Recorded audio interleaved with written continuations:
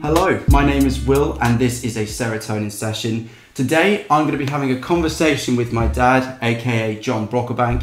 He's a retired police officer who very recently has gone through a very significant lifestyle change in terms of his physical appearance, to say the least. Thank you. So, thank you so much for actually joining me for this. I'm, I'm really excited to have a chat about it. So, to start with, what I'd just like to find a little bit about is just your background, so your upbringing. And, you know, I know for a fact that you were an active individual, but if you could just go into that a little bit more, that'd Yeah, be amazing. absolutely. I, I was brought up in a village, so we were permanently out, permanently doing things, permanently playing football, permanently, permanently playing sport. Um, I started at school playing rugby um, and other sports as well, but mainly rugby. And I used to cycle everywhere, absolutely everywhere. And I used to cycle from my village, seven miles, to rugby training three times a week, and then on weekends. So literally, I was as fit as you could possibly be. Um, always outside, like I say, um, quite physical. Because you worked on farms I worked well. on farm, throwing hay bales around, straw bales around. You know, great times, really, really good fun with all Yeah. my mates. But yeah, the sport took off very early on. Yeah, and I think I've definitely inherited that. Someone who, who really enjoys my sport as well. No, I and um, I, th- I think, and I think I definitely did. I Yeah, you we- go I think we did. Yeah, I think I'll we go did. with that. Yeah, yeah. Um, and then obviously, you know, you you kept that up, and you played rugby. Until, I don't know how old you were until you. When did you stop Uh, playing? yeah, I played right the way through my teenage years into my twenties, and then when I I came and joined the police in the south, I carried on playing for a little while, uh, but kept picking up injuries and various other things. Yeah. but yeah. I, I mean, I, I played to a reasonable standard Mm. back in the north, um, and back down here in in Suffolk as well. Um, but to be fair, it, the, the job just got in the way. So Yeah, well, that was actually a, a poetic segue uh, Oh, because right. what I wanted to actually Yeah. find out a little bit is obviously you at one stage brought yourself down from from the north um, Yeah. further south, and that was influenced by by being in the police essentially. Yeah, I mean, I, I- there was a couple of things. One, I was fed up doing what I was doing, and it wasn't working. I wanted something physical. I wanted something outdoor, um, and I played rugby with some police officers that were up in Cumbria, and everybody seemed to be talking about, seemed to be enjoying. it. I thought, right, we'll give this a crack. Uh, Work was literally was on a tender, you know, in a tender position in the north. I worked as an engineer. Um, and you know I could have been out of work at any time. So I said, right, let's give it a go. Um, met your mum uh, Yeah. and moved south, but not not into Norfolk, but in, moved into Suffolk, and that's pretty much the start of it, really. Yeah. great, great, And- good choice. And when you were in the police in the early stages, would you say that that was a relatively physical job? Did you keep yourself pretty physically active? I, uh, smiling, he says, yes, I did. I was very active. Uh, and it was a very physical job because back then, um, you know, you were fighting every Friday and Saturday night, or you were wrestling with people every Friday and Saturday night. So I maintained my sort of physical presence. In fact, I, I probably built up on the physical presence, so you looked a bit more sort of. Yeah. Uh, but th- way back, way back then, you didn't have things like bulletproof vests or stab-proof vests or or any of this stuff that now makes you look really bulky. Yeah. I just was big. Yeah. I, I you know, I The, trained. the, and the, the size is what sort of did the job. let me let me tell you that came in handy on more yeah, well, I can imagine. Oh, it did. Yeah, I yeah. think. Uh, Yeah. uh, well, I think again, it's just being able to. You show that in reality you are going to be able to, to hold yourself, and as you say, Yeah. in, in comparison to maybe what is in place now, you know, at points you would have probably been by yourself, and you really did have to hold your own. So the I- physical health side of things was probably very key. At that It point. was, and, and obviously I was six foot three. Uh, I was at the time, I think I was about fifteen stone, maybe sixteen stone. Yeah. Uh, once described as a job uh, by a judge as ideal man for the job. Uh, uh, because of the sort of nature of what we were getting involved in, Yeah. you know, fights and every all that sort of thing. It just Yeah. fit. It worked. And in your case, essentially, you you were someone who basically worked from the bottom up. You were someone who's Yeah. came in at you know the the lowest level in, in police in, in one sense. Um, it sounded like you absolutely loved it. I think you, as you say, you were very suited to the job. But Yeah. you are someone who, well, coming, I can say this because I'm your son and I've seen it happen. But you're someone who has worked very, very hard over the years to probably make up for what was lacking a little bit academically when you were younger. Yeah. But through that, what ended up happening was that you started to actually see a rise in your position and your role within the police. And Yeah. would you say that you know how how did your habits of you know living a healthy lifestyle maybe get influenced by um, your changing role within yeah, the police? I, I, if you start at the very beginning, and I'm not going to go through the list. Yeah, of course. You know, I started as a as a as a constable, and and I was a cycle beat officer, so I rode a bike around, which just fits me. yeah, perfectly. yeah, for sure. Uh, but I very quickly moved into the CID world and um, and got promoted to uh, one of the lower ranks uh, fairly quickly. To be fair, but I did a lot of work on drug squads and various other bits like that. Um, and then I, I got moved to Ipswich, which was a, a bit of a trouble, and I just really kicked in really. Um, and very early on, I was um, started to go up a couple of ranks. I got onto the murder teams or the uh, what they call the major investigation teams. Yeah, Um, and I would say it's at that, you know, round about that point, maybe even a bit earlier if I was honest, when I was on proactive teams, you, your hours of work were so long and so drawn out. You ate badly.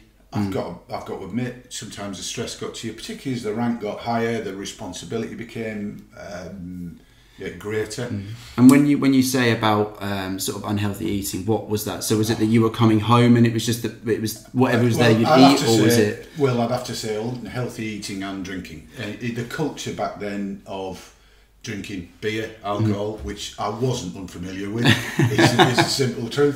It made Coming coming from the rugby background, I think I think it I'm was from destined. the north, yeah, I was yeah, to do it. Um, but you know, you'd finish work at say midnight and you'd have a kebab or you'd have fish and chips or Yeah. you you know you'd be working until three in the morning and you'd be eating at strange times and it just you know I just loaded it up and I used the drink if I'm honest uh, particularly when I got on the murder scenes and some of the things you saw weren't, weren't particularly weren't particularly pleasant but in fairness I probably would have been from when I was in CID normally Yeah. um, alcohol became a bit of a sort of crutch in some cases. Not not proud of it, but that's what happened. You combine alcohol as soon as you have a few beers, you get the Then bunches. you get the yeah, you get the bunches yeah, and away sure. you go.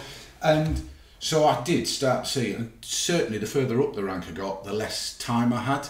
So I didn't train, I didn't yeah, that was my next question. Um, and yeah, I got myself in a bit of a bad place. So, so it meant really that you were going day to day. There wasn't much exercise going on. Yeah. You, the the help, the Well, eating apart from, apart from apart from the apart from yeah one particular movement. Yeah, yeah, yeah. Um, but yeah, as you say, that the exercise was maybe going a bit of astray, and then when it came to eating, it wasn't really about being. It wasn't conscious eating. It wasn't you thinking about what I'm putting in. It's just basically you were fueling yourself. Absolutely, and you, everybody, anybody who knows me knows I eat, I used to eat quickly, completely mindlessly. I also used to smoke, if I'm honest. Yeah. Um, I smoked, well, could have been anything up to 30, 40 fags a day. I I remember going in, I had a little period as a sergeant in custody at Ipswich. Um, and I just found it quite stressful that that type of work. You light up a fag. I'd light it up in one area. I'd then light another one up in another area. First thing I did when I got up in the morning was have a fag. Um, yeah, I start. I would say that, that's about the time it started to. It play. seemed like it was all a bit of a mixing pot there. So it's just so many factors. that- Absolutely. And so, what would you say then, sort of, when in that window of time, when did you start to really notice that maybe the weight gain? So, Oh, I would say early on, you could mask it a bit. You you sort of people didn't know how much I was eating, and probably didn't know how much I was drinking. If I was honest. And then of course you start to get a pot belly. Yeah. Um, you become a bit slower. I remember I was doing still doing sport. uh, You know, some sport. Yeah. Um, fitness and all of that stuff. well, the biking's been pretty consistent, consistent for you right the, the whole way through. But I, to be fair, I just made excuses for it. Um, Yeah. But I would say, yeah, I don't know. I was in my late thirties, late late thirties, early forties, and it really did come on then. Yeah. Um, What was your, what was your top weight? Where Oh Jesus! I, I, when I come to think of it, I remember uh, from about 2015, I started to record in a spreadsheet yeah, Me weight, and I stopped because it got scary. yeah, Uh, 127 kilos, which would have been not shy of 20 odd stone. Uh, uh, well, probably a bit more than that. And I, I Yeah. certainly was over 20 stone for a while, yeah. a goodly while. Um, and I, I've probably been higher if I was honest. But it's it's so surreal from from my perspective anyway because obviously I've seen I've seen photos of you when you were younger and I look at you now and obviously I knew you predominantly at that weight and it's very surreal to think actually that that's that's where you were at Yeah. but I think as you started to sort of allude to with actually starting to record your your weight back in 2015 although although it stopped I think you maybe had, or at least were starting to develop some form of awareness of, of the thing. But I, I was conscious. and and what um, sort of started to happen in, your case is that your weight actually started to fluctuate when you started to maybe be a little bit more aware of what was going on. But Yeah, why was it fluctuating? Why I, couldn't could, you find I, a I rhythm? would say that that was toward the end when I was uh, within three years of retirement, and I retired in 2016. Within three years of retirement, I was really sky high. It, it, just was all over the place, and my weight was really high. I was, you know, coming to terms with I'm getting close to retirement and the stresses of the work, and you know, a bit of personalities, and you know, lots of things, lots of a bit of history. You know, you were, I was making it difficult for you guys. Some days I was working three days on the shop. Mm. So I would say my fluctuation was I always knew I was never meant to be that big. So I, it, you'd have a battle in your mind as to I, I shouldn't be this big. This is wrong. I can't, you can't do this. Yeah. And then I'd have a little spurt as you do. Yeah. Did a bit of training, all that sort of thing. Drop a few kilos. Everything's hunky dory. Go out. Ooh, on your marks. Get set. Get some on the beer again. Boof, Yeah. All, all fell to 'Cause what was it? Was it not? It was normally around January, wasn't it? That you, I always think it was. started, It was dry, dry January. Dry. January, I and then, but you would be great. So you would have, Yeah. you know, three months, Oh, and yeah. I think the influence of that impacted what you were eating. Yeah. And then I don't think you were maybe necessarily as consciously thinking, okay, these are the calories and this, that, and the other. But I think you were at that point I was going, con- conscious of weight. yeah, and I was conscious of appearance, if I'm honest. yeah, You looked at yourself, you know, and we've just done a bit of view to that today, where you look back on some pictures, So and some surreal. videos, and you So think, surreal. Oh God, what's happened to me? Yeah. and that was it's that. It- you know, you you just think, God, do I look like that? Mm. And I don't. I it's nobody else's fault. I can't blame anybody. Yeah. that that's down to me. Yeah. That's down to me being too close to the biscuit barrel. Uh, you know, Yeah. simple as that. And I, what I suppose what I'm trying to say is like anybody out there, there are a number of factors that led to me to live that unhealthy lifestyle. Yeah. But if you said to me, was that the real you, the natural you? The answer is no. yeah. And I think, and it's very surreal again from coming from a son's perspective. Yeah. I knew you at that heavier weight. Yeah. So what this sort of recent window has been has been, and you know, we talk about it all the time. Yeah. Is that it's actually very surreal for me because it's this is obviously what you talk about in that this is where you feel you yeah. that's where you were. This is where you feel like you should be sat. But yet, you know, those those barriers were in play. I, I mean, there'll be people who watch this who will say, "Well, I remember him like that." Mm. Yeah. So what? What? What happened to this other? Fi- you know, what happened to this bit that you Yeah. like? You know, you come back in, and I've recently just been up home, you know, in the north, uh, and some people have seen this, and, and it's all lovely. Yeah, it's nice to get the comments uh, that people, "Oh, crikey, yeah, you've lost a lot of weight," all that. I, I like that. Yeah. What? The only thing that does to me is think, "My God, what?" What was I? Well, that, that's it, and you just think, "Oh hell, Yeah. you know, come on, I'm not going to let that happen again." Yeah. Well, But there, as we're going to go on to, there was Mm. lots that got in the way of that. Yeah, well, I think um, I think what would be actually great now is to maybe do a little bit of reflection on on this most recent window Yeah. of time and think Yeah. about well, you know, we we had that window of time where we were fluctuating. You were definitely aware of it, but you Yeah. weren't necessarily able to sustain it for a long period of time. So, what has been different about This this, most recent time? I think the involvement of you guys, Mm. uh, you and Laura, in terms of Laura got me a book at Christmas by a guy called Charles Duhigg, and it's called Habit, and I read it, and it talks about how you form habits, and then in theory it gives you some sort of mechanisms as to how you deal with them. And I also uh, I went to the doctors. Uh, I had high cholesterol. My blood pressure was all over the place. They were telling me to lose weight. I've dislocated both of my knees, and I was putting weight on there. And do you know, I just started to think, come on, I've been retired three years. I biked. In the meantime, I biked around Britain a couple of times. Yeah, and that's that's the thing. You've Biked done around this. Ireland, and then drop a few kilos, and then come back, and away then you go again. back into it, yeah. And even if I was honest, even when I rode around those places, I did that um, unhealthily. Uh, Well, I, drank- think if, I- well, if we think back to just even us two being in Brighton, I Correct. think we uh, I think we had a fair few. We had a few, and uh, anybody who titles their blog "Bikes, Beer, and Cosmic Cosmic Consequences" has got a bit of problem. and so, you know, it it was a quote that I read, and I've got it here because I, I, I, to be honest with you, it's not one of them that you commit to memory, but Yeah. Duhigg did this thing called the uh, the habit loop. But I read something that said some cancers are closely linked to lifestyle factors such as obesity. And I remember reading it, and that was in about November. And I can tell you uh, exactly, I weighed 127 kilos, having started to ride a bike at 115 kilos. And you know, I'm proud to say now, yeah, it's good. Every bag I had on my bike when I rode around Britain in 2016, hmm. the total amount of those panniers and tent and various other bits and pieces was 25 kilos. Well, I've lost more than that. And so I had I mean, if, any, if anyone's picked up a 25 kilo weight, like Yeah. that, is, you know, that I is was pushing that substantial. round. I was pushing that round the Lake District, Wales, and all Well, that. if you think about it as well, you know, because if you your combined weight with those bags, like your the spokes on on your Oh, bike break were them. literally popping. Yeah, yeah, I popped them. In Ireland, I was I, I brought I think fifteen spokes. Yeah. I, 15 I made, spokes? Yeah, I made excuses for it though. Yeah. I, I'd be sitting there saying, "Oh, you know, it's weakness," or "I'm putting so much power through. It's crap. Yeah. was too heavy, Yeah. and that, that's the simple truth. And you know what you said. What was it? That phrase there, and the thought that I was doing myself Mm. damage, and perhaps not get to see you guys or your mum, and, Mm-hmm. and then maybe even grandkids and kids. You think, "Come on, Yeah. wake up."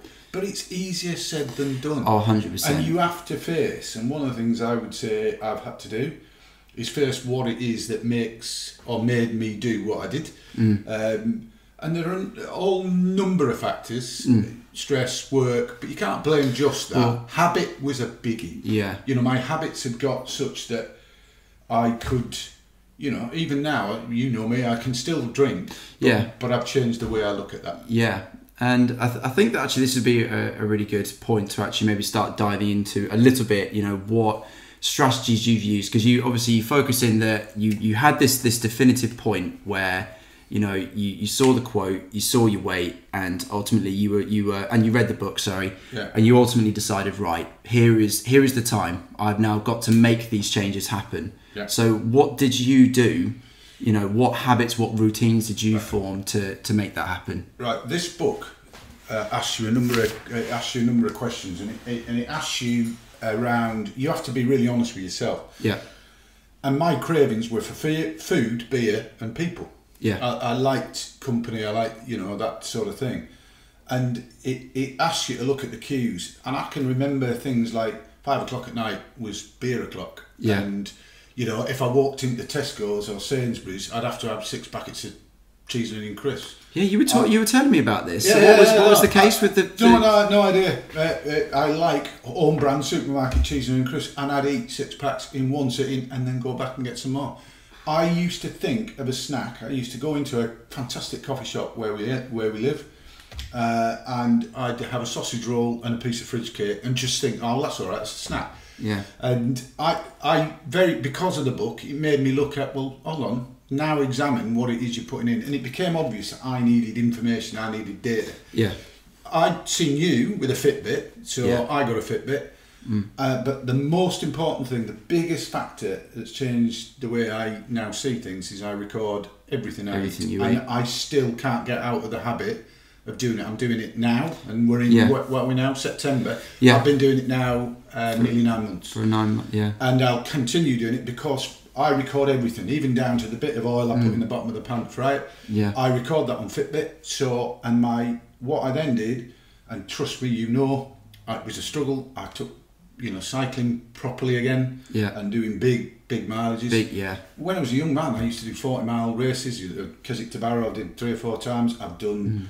Um, the Snowdon Seven several times, and I, all when I was lighter and younger, and, my I think my physicality was that's what I'm I'm good at. Mm. So I then decided that once I understood what I was putting in my body, and it shocked me. I won't mm. lie, it shocked me. I never knew I was throwing so much in. Yeah. You know, particularly on drink nights mm. that I call them now. But then drink nights With were with pint, you know, 10, 12 plus Easily. beers. You know me, I could, Yeah, yeah. And, and I, I've, you know, the this people are going to watch this will remember me drinking more than Just that. ridic- yeah, ridic- yeah. And you then throw in the food. Shit, And I, you- I wasn't gonna. Ah, you were never gonna. I was never gonna burn it off. Yeah.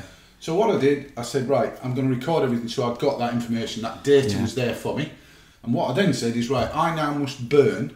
I've got it my heart rate. I must burn more calories than I put in, That that right which there is- controlled my input Yeah.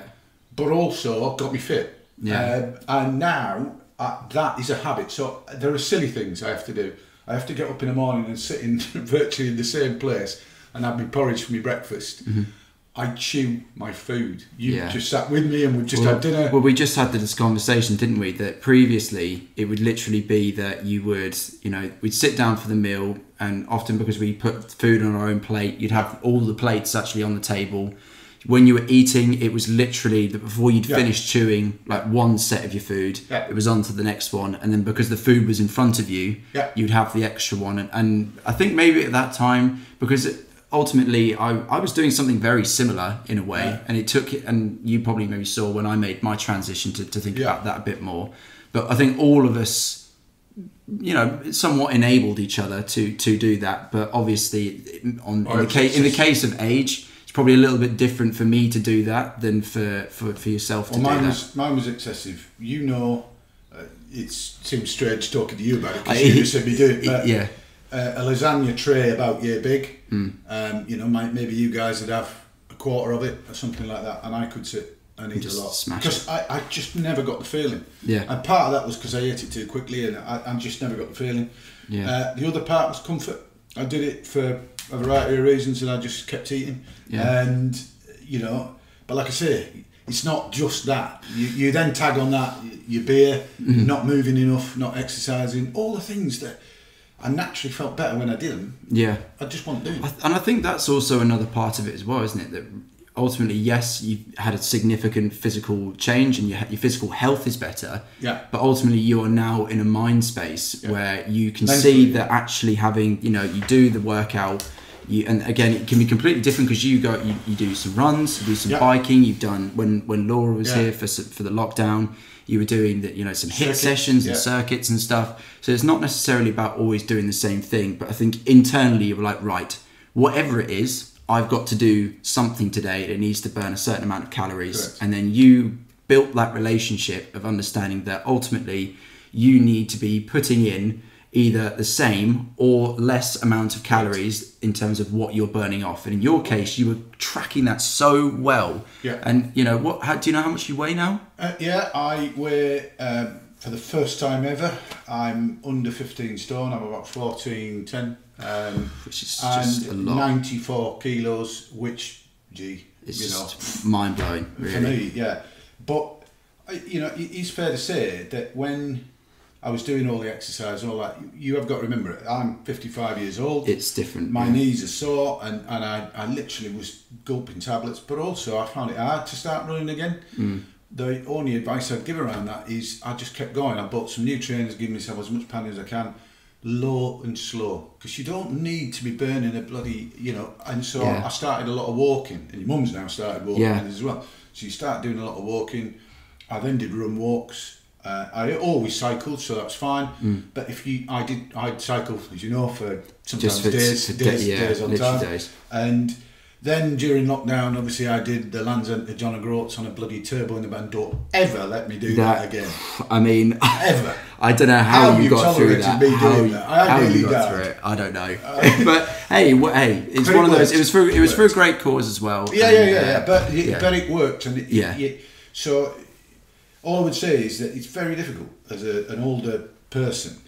You feel can, like you you- can I gen- watch, I watch Do you, train. Do you know what? That has just triggered a memory in me that I remember us being sat um, at the beer house one time and we were talking about habits. Yeah. and I think you were saying that you know it- at that time this is when you were, were still quite big. You were Yeah. like you know I, ca- I really struggle. I, ca- I can't do what I did when No. I was younger. And I think I internally at that point you were thinking there is no way back for me. I'd given and yeah. And now and, and now look at it. It's yeah. It- It's just it's strange though what the trigger what that trigger looks like is the fact that you know you everybody should say oh yeah you must want to do it for your family and all that yeah yeah You did, well, it can't but just be that, it's a yeah. bit of a bigger thing than that you've got to address what it is that makes you you know makes you the way you are and, and somehow I've managed to do a bit of that you Mm. know there's still always going to be times when you know things are difficult or you're anxious about something and I'm currently 100%. doing some work you know now that it's challenging it is challenging, but it, all I would say is, I just now feel, I feel a million dollars. Yeah. Of course, it's nice that people say, "Mike, you know, you've lost." A, the average comment has been, "Are you ill?" You know, so they, number one, they don't they don't think, oh bloody hell, he's lost a bit He's- of weight. he's just- are you ill? I'm actually not Oh, even. you got- not Do you know? I bet that's not even that's not even surprising to hear that Well, no, because but you, were like that for so long. You sit, you sit there, and you you know, you only very recent I was up with friends, and uh, you know, they said, "Crikey, Just, yeah, who you are could do you?" A damn good dinner. What's the matter with you, man?" Uh, but it, oh, I, I I don't look back. But what I would say is, it hasn't been the easiest thing to do. No. But it, it, It- if if you are naturally Nothing a good is. that's fit, I think it is. It's so necessary, and Mm. it.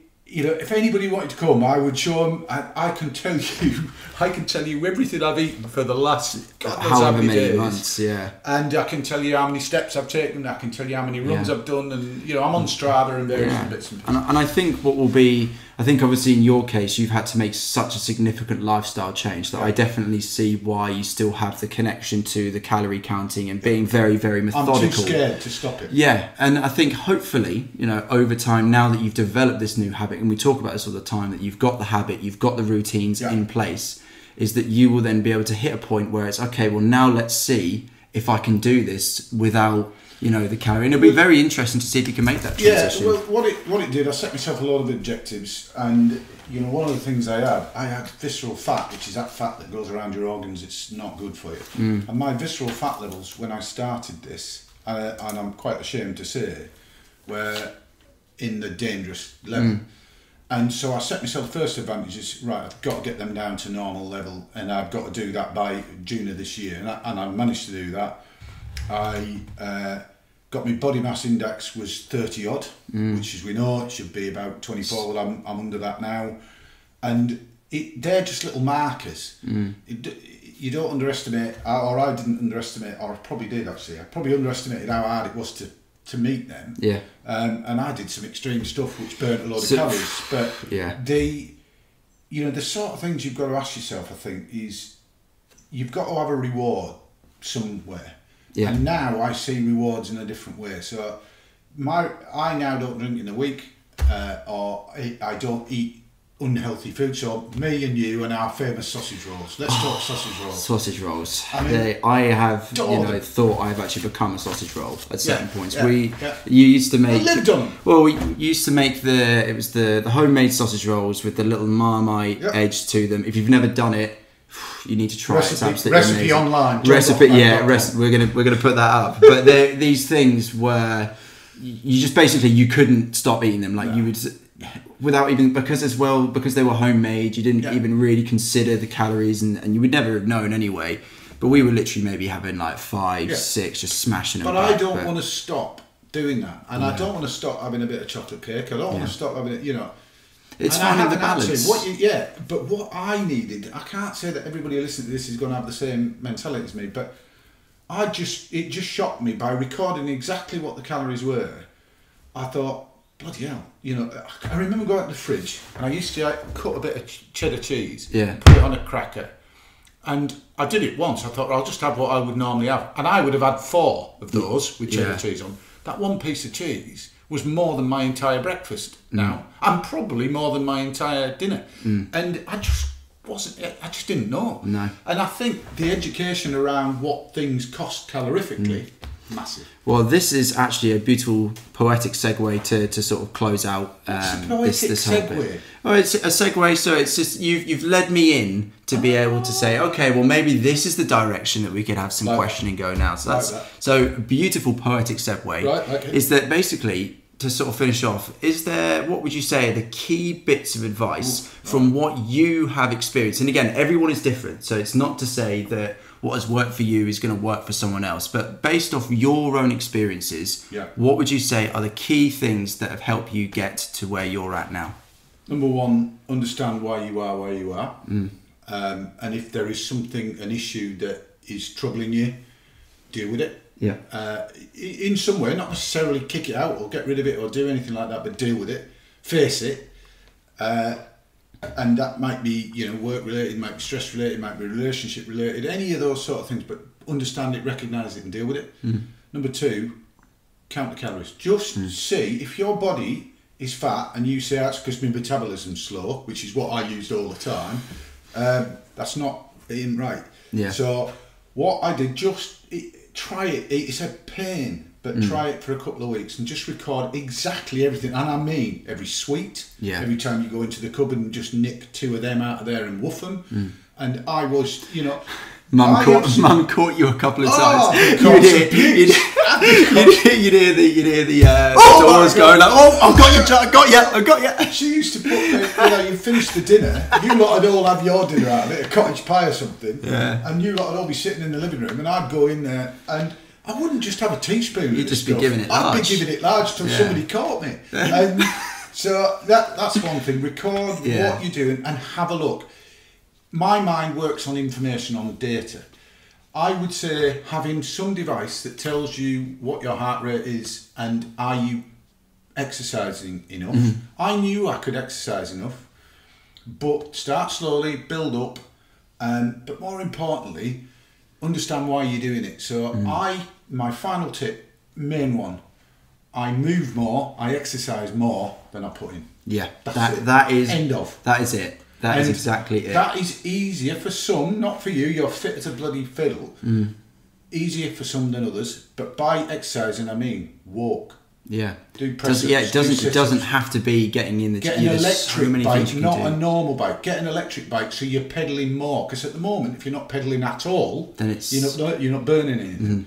Um, there's those with me. Yeah. Well, thank you so much for that. That was so. And obviously, it's very weird because you know I've seen this, but it's always great to have you know a full blown conversation. Yeah. And again, hopefully for some of you out there, you've, you've been able to take maybe a few messages from this. And if not, maybe you've just enjoyed our conversation. If you enjoy this video, please do make sure that you, you give it a like and subscribe to the Serotonin channel. Follow all of our social media platforms. We've got, again, so much amazing content to come out. So, again, thank you so much, You're Dad. welcome. You're And welcome. um, until the next time.